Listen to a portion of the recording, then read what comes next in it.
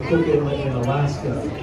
Uh, due to the amount of fishing that's going on there, um, they're actually I think the seals shooting coming up all the close. salmon that live at Cook Inlet, and it's actually causing some malnutrition amongst beluga whales there.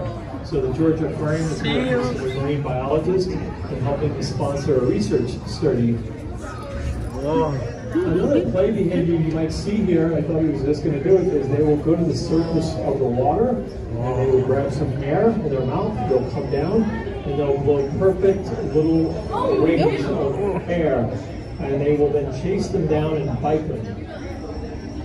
Our male in particular likes to do this. That's the biggest one. See that one? Ah, the big one. Yeah, that is the biggest. Beluga whale. Yep. There's a baby beluga. Now that's a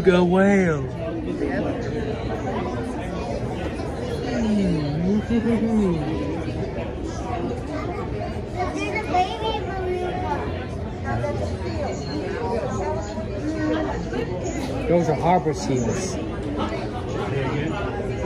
Harbor seals. Thank you.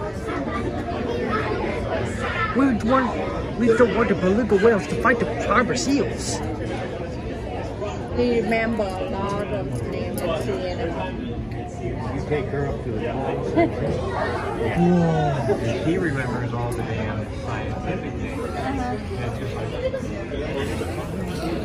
Yep, yep, yep. Yep, I asked myself just the same way. yeah, I point her. Uh, it's a nudibranch. It's a slug. It sounds looks like a dolphin.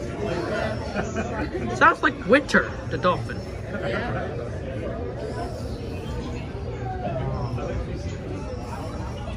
There goes. He is of this thing. Sounds like Winter, the dolphin. So,